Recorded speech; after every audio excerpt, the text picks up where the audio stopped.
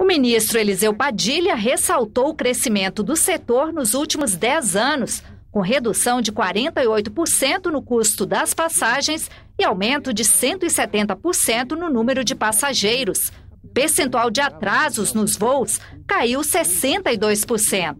Os serviços nossos melhoraram muito e estão melhorando, continuam melhorando, e a tendência e a nossa pretensão é de que continuem melhorando e muito. Eliseu Padilha falou sobre o Programa de Desenvolvimento da Aviação Regional, segundo ele, a menina dos olhos do governo Dilma.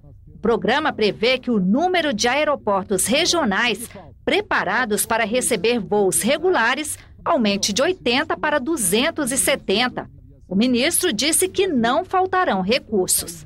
Este programa ele é financiado pelo FINAC, Fundo Nacional da Aviação Civil. Não está incluído este programa nos recursos ordinários do orçamento da União. É um recurso próprio do fundo, definido por lei, com aplicação exclusiva na de investimentos da aviação civil.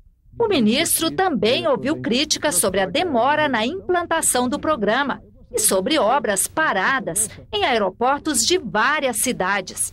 A presidente Dilma esteve no Amapá no ano passado e se colocou solidária ao término das obras desse, desse aeroporto de Macapá, que se arrastam aí por quase 12 anos. O aeroporto do meu estado se transformou numa rodoviária de quinta categoria, senhor ministro. A obra está, portanto, paralisada desde 2007.